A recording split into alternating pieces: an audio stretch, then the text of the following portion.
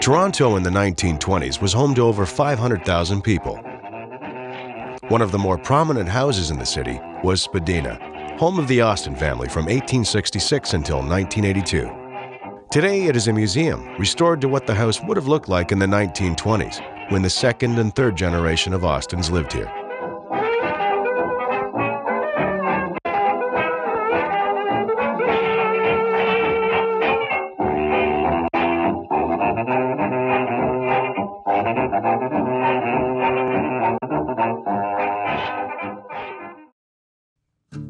In 1829, James Austin came to Upper Canada, now Ontario, as part of a large wave of emigrants from the north of Ireland seeking new land and opportunities. 16 year old James was apprenticed to work in the shop of printer and radical politician William Lyon Mackenzie, while his parents, brothers, and sister settled on a farm near what is now Oakville. When his boss, Mackenzie, led a rebellion against the government in 1837, James Austin moved to the United States, not to return to Toronto until acquiring money and a business partner in 1843.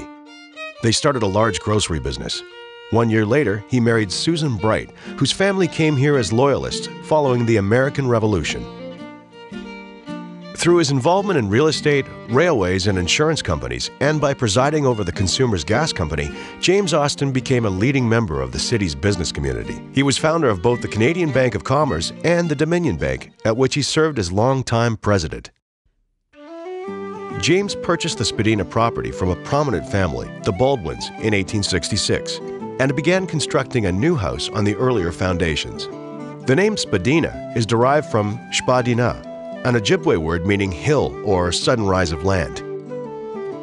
At this time, Spadina was surrounded by farm fields and bordered by country estates along the top of the Davenport Escarpment, all a fair distance from the edge of the city.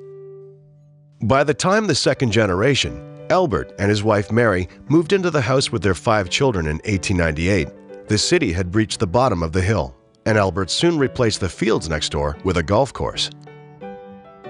Albert and Mary Austin added to the house several times, and by 1913, Spadina was architecturally complete as you see it today, transformed into a city mansion. Albert and Mary were among Toronto's social, cultural, and financial elite. The years leading up to the 1920s were difficult ones for the Austins. Albert and Mary's second son, Albert Edison, died of tuberculosis in 1913. The First World War took a toll on their eldest son, Percy, who served as a gunner, and their youngest, Margaret, who spent time in a military hospital in England as a Red Cross nursing assistant. Percy was diagnosed with shell shock, now better known as post traumatic stress disorder, and on medical advice, the family arranged for a quieter home for him in Barrie. In the city of Toronto, the celebrations that marked the war's end soon gave way to widespread disillusionment over the human toll and the lack of employment for returning soldiers. But by the early 1920s, both the city and the Austins were rejuvenating, and nearly the entire world was infused with a newfound sense of optimism. Known today as the Roaring Twenties, this decade of rampant economic growth is best known for jazz, baseball, and flappers, teenage girls who smoked, drank, drove, and bobbed their hair. In North America, prohibition was an attempt to stop alcohol sales, while speakeasies and gangsters like Al Capone were determined to keep it flowing. Europe was rebuilding itself, although Germany was struggling with severe economic problems. The 20s saw the rise of communism in Russia and fascism in Italy. A new invention, radio, was becoming popular, and the first talkies were in the cinema. Modern advertising was born, and in Canada, a young band of artists known as the Group of Seven were painting the Canadian landscape. For the first time, more people were living in cities than in the country. In Toronto, the 1920s were not quite as roaring as cities like New York and Montreal. Immigration during this period was encouraged but also feared. Toronto was still predominantly British Protestant and known as the City of Churches and Toronto the Good. It was a time of tremendous growth in the city, and big public works projects improved street lighting, snow removal, and garbage collection. The Toronto Transportation Commission was established, making it easier for the working class to get to baseball games, boxing matches, horse races, the movies, the Toronto Islands, or Sunnyside Park.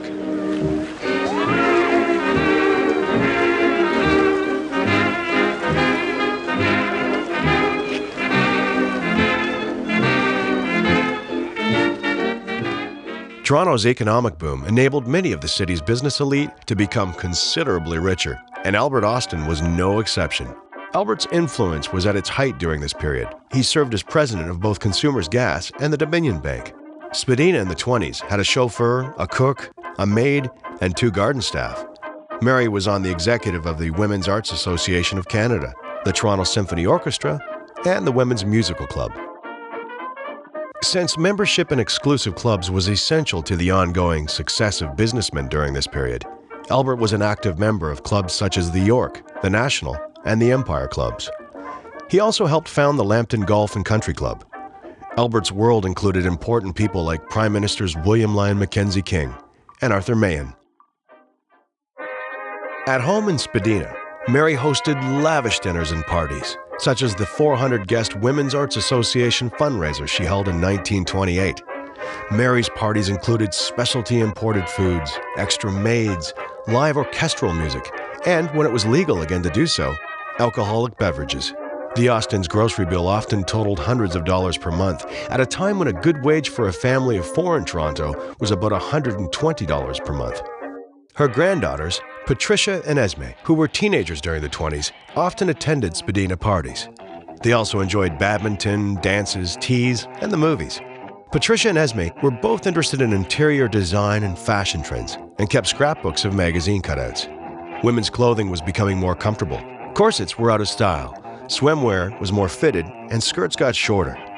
Businesses targeted women as major consumers, but while many women were enjoying these changes, there was a general belief that young people had a little too much freedom and were spending too much money. Organizations such as the YWCA worked to keep young ladies in check.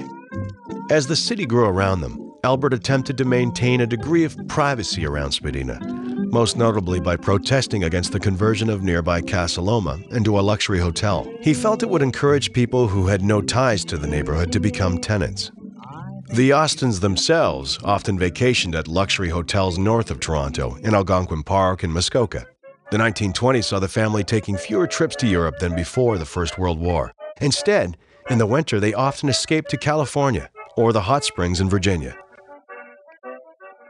Despite their luxurious lifestyle, the Austins had an advanced sense of social responsibility. They supported causes such as the Toronto General Hospital, YMCA, and Salvation Fund, among others. Albert was continuously asked to support other charities, to which he personally responded, even if the request was declined. By the end of the 1920s, it became apparent that their charitable giving was going to be even more important in the next decade. When the stock market crashed in October 1929, Albert, as president of the Dominion Bank, presented outward confidence in the bank and economy. In 1929, he purchased his largest cars yet McLaughlin Buick limousines, one for him and one for Mary, each with their doors monogrammed. Everyone could see that the bank's president felt that good times were ahead. While the crash and its aftermath had a devastating effect on Toronto, such as unemployment as high as 30%, the Austins were relatively unaffected. By continuing to spend about the same amount per year throughout the Depression as they had in the previous decade, they supported many local businesses. It was time to prepare for the next generation. Patricia and Esme had elaborate debut parties at Spadina, hosted by Mary. Esme was featured in a debutante magazine where she listed moonlight sailing among her favorite activities. Though the family lived at Spadina for another 46 years, Spadina today reflects the 1920s, an age of optimism, growth, and a time when the Austins were at the height of their business social and cultural influence in Toronto.